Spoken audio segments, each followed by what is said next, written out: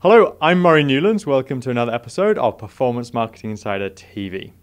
Today I'm speaking with Rodney, who is one of the founders of MdotM. They are a demand side platform. They help app developers get more installs.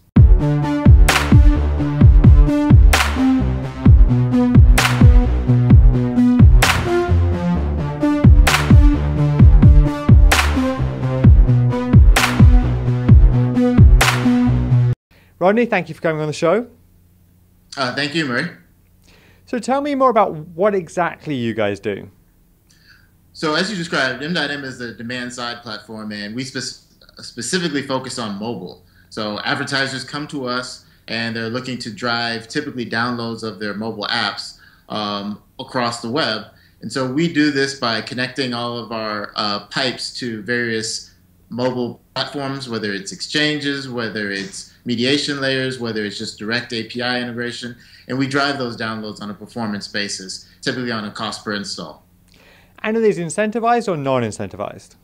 All of what we do is non incentivized uh, by default. Occasionally, advertisers do ask us to do incentivized, and we'll manage it, but we don't have pipes directly with any incentivized channels. We, we just uh, offer the management piece of that. What types of campaigns are doing uh, well, and uh, and where do you see the market going in 2013?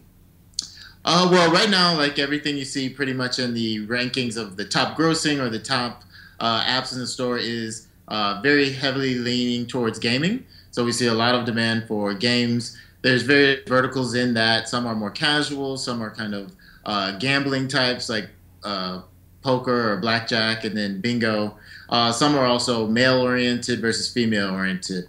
Uh, we do run other campaigns uh, for clients that are in dating and travel, uh, not to the same level, but they're definitely some of the growing trends. And I would say in 2013, we're seeing a, a, an increased demand in things like security. So we work with people on Android that are offering security based applications. Uh, we also see a stronger bent towards not just gaming but more entertainment. So there's music. We've done campaigns with things like Spotify or Flixster. Uh, so we think that it's going to branch out into a little bit more of entertainment to start, and then there'll be little niche, I think, bigger tests for things along the lines of finance and travel uh, to try to grow that space out. What other changes are you seeing in the marketplace? Is it moving more towards Android from iPhone? Um, what about the new Windows Phone? Do you see uh, do you see that, things like that affecting the marketplace? Uh, yeah. So we see we're you know about this time last year, I'd say that it was very very heavy iOS. Uh, this year, right now, we're seeing a lot of adoption of Android, and we've seen uh, consistent pickup there. So we're expecting that Android will just continue to get bigger and bigger. Uh, in terms of Windows Phone, uh, we don't see a lot of demand for it, but we see that people are uh, trying to prepare for it. So we're getting more inquiries about it. We've actually started receiving some sort of uh, bid requests in our exchange on Windows Phone. And so we expect that it's going to be something that will pick up, uh, probably a little bit slower than what we saw with Android and iOS, which is likely to be expected. But uh, we're not ignoring it just for the fact that Microsoft has basically made a play that everything will be kind of Windows Phone ish or like, with their Surface being somewhat of a tablet slash uh, desktop device, if you want to say. Uh, so those are some of the things that we're keeping an eye out on, and it's just really early to say, but um, there is increased interest there. And are, are developers really making money with these games? Are they able to turn around these installs into actually re- actual revenue? And how hard is that? Um, that's a good question. You know, so we being the performance-based type of uh, company, where advertisers typically work with us, and why they like working with us is that they pay strictly for the download.